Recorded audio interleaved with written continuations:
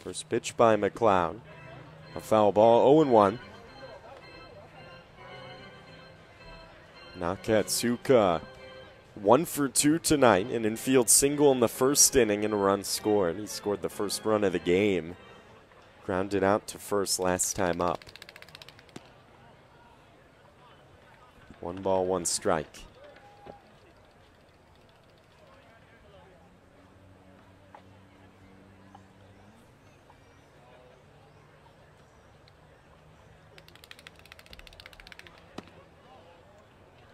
This is um, upstairs, two and one. So Sawyer Roland for the Bull Moose up at 83 pitches through five. McLeod in a little bit better shape, 67 pitches entering this inning.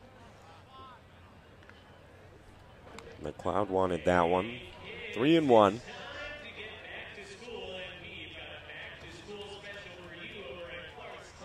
Jarrett Bickle on deck.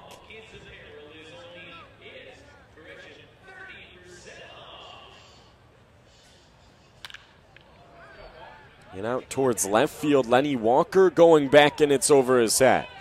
Hops against the Sanford Health sign. Nakatsuka into second.